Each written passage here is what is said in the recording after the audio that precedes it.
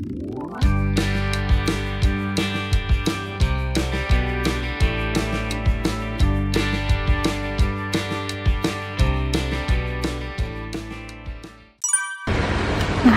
jadi ini dia penginap kita yang pertama.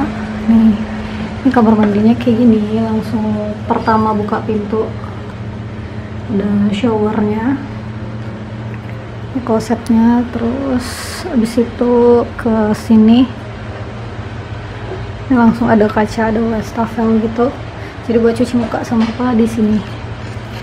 Terus kita lanjut ini langsung tempat tidur gini. Ini bener-bener menurutku unik dan minimalis banget ya dan uh, aku suka model-modelan kayak gini nih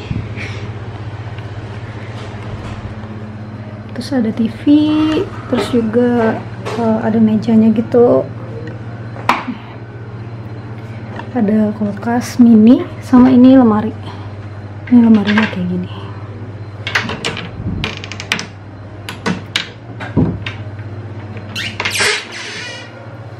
Terus juga ini AC buat per malamnya itu sekitar 130 ribuan ke atas. Jadi mulai dari 130 ribuan sampai 200 ribu kalau nggak salah per hari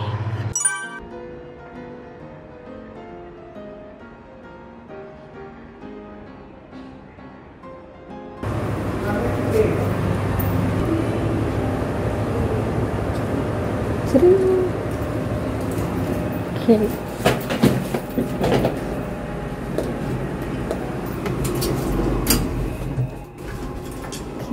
Tiga sembilan belas.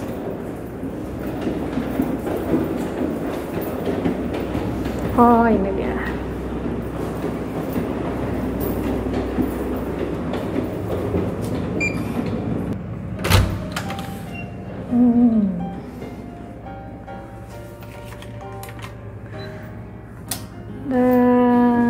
Kamarnya. Nih kita review kamar mandinya dulu. Nih langsung ada wastafelnya terus ini ada shower juga di sini. Ini ada handuk. Yes. Terus eh kok TV-nya nyala sih? Ini ada TV terus ini ada meja buat ngaca. Kasurnya kayak gini hmm. kece nih buat harga segini. Kita uh, buka. Oh nggak ada balkon sih. Cuma gini doang. Ini AC udah kayak gini.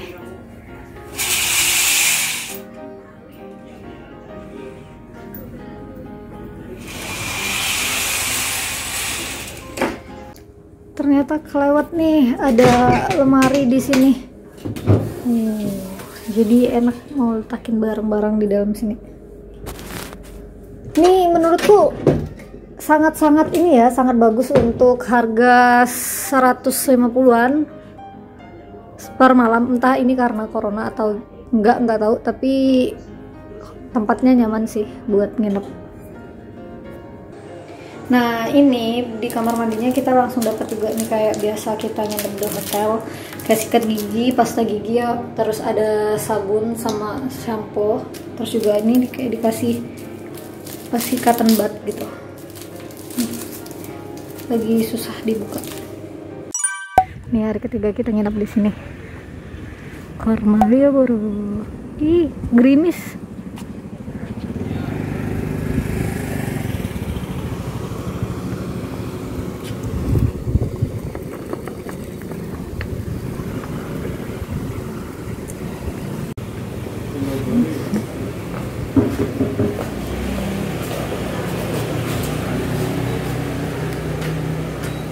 Kasih pak. Meja di hari ketiga itu aku nginep di Core Hotel Malioboro. Kita lihat. Gimana gitu kan.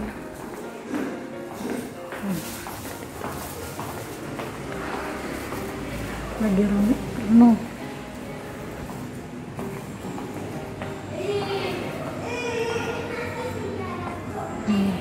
jadi baru tahu pas hari akhir kalau misalkan ada kolam renang gitu.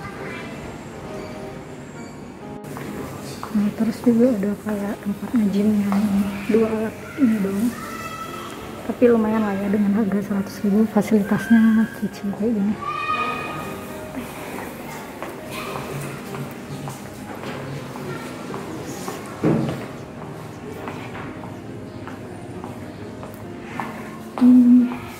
Juga makanan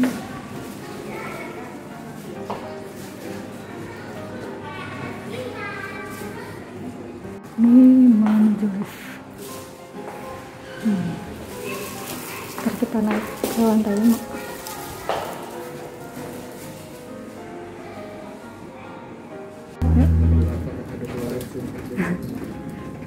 Oh, sampai exit tuh nah. Pojokan. Nih. Terus 0 503 0503 berarti di sini nih.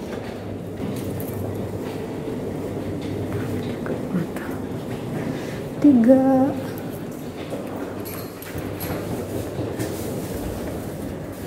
Nih tiga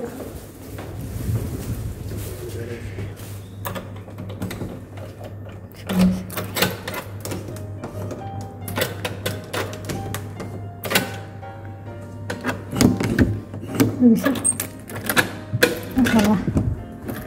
Oh ini. Hmm jadi ini kamarnya.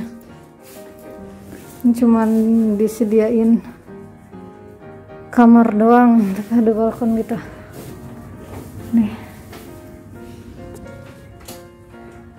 Ya lumayan ya nih hari keempat kita nginep di Violet Hotel dekat Malioboro. Karena emang rencananya tuh kita kayak pengen uh, jalan kaki doang gitu di Malioboro. Nikmati suasana malam Jogja. Nah akhirnya sampai ke hotel yang keempat.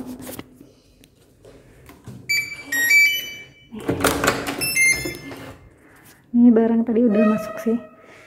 Tuh, kita nyalain dulu lampunya udah. Nih dari belakang pintu itu dia ada kayak gantungan buat baju. Banyak lemari. Jadi kalau misalkan kalian bawa barang enak. Terus habis itu nih masuk ke dalam. Di sini ada TV ada kaca terus ada meja juga panjang gitu. Ini di bawahnya banyak tempat-tempat buat letakin barang-barang. Nah, terus ini kamar mandinya. Kayak gini udah dapat handuk ada wastafelnya juga.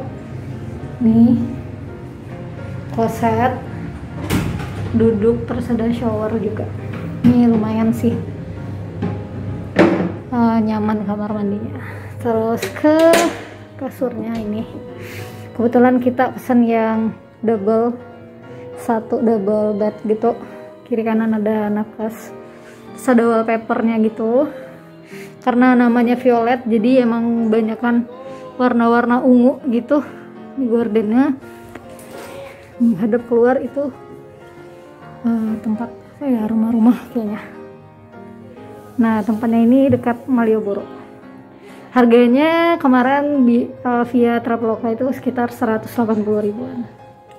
Nice nih buat kalian yang mau liburan bisa jadi referensi. Ke Violet Hotel